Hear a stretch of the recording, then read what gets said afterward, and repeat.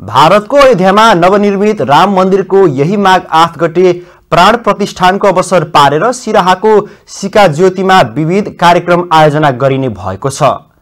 मर्यादा पुरुषोत्तम श्री रामचन्द्रको जन्मभूमि भारतको अयोध्यामा नवनिर्मित राम मन्दिरको प्राण प्रतिष्ठानको अवसरमा सिराहा नगरपालिका वडा नम्बर बिस सिका ज्योतिमा विविध कार्यक्रम गर्ने आयोजना गरिने पत्रकार सम्मेलन गरी जानकारी गराइएको हो।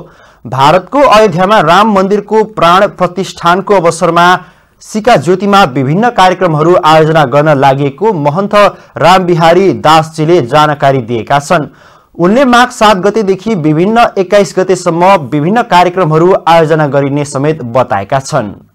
धार्मिक सांस्कृतिक खेलकुद शैक्षिक गतिविधि आय आर्जनका कार्यक्रम तथा अन्य रचनात्मक कार्यक्रमहरू सिरहा नगरपालिकाको सहयोग रहने नगर प्रमुख डाक्टर नवीन कुमार यादवले पत्रकार सम्मेलनमा जानकारी गराए। उनले यस्ता धार्मिक अनुष्ठान तथा रचनात्मक कार्यले सामाजिकतालाई मजबुत बनाई सामूहिक विकास निर्माण तथा व्यवस्थापकीय कार्य गर्न सहजता प्रदानमा मद्दत पुर्याउने समेत बताएका छन्।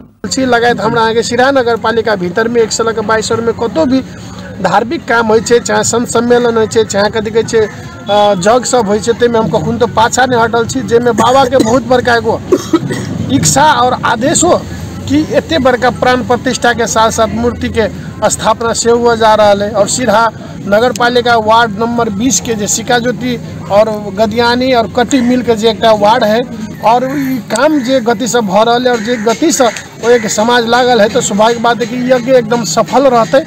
और सफल हुए से कामना सेहो करला चाहे छी।